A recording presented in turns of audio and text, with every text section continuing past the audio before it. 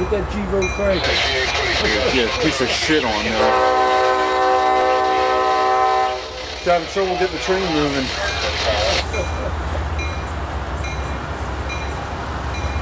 Good old junker. I didn't see no Gevos on Saturday, I'll tell you that.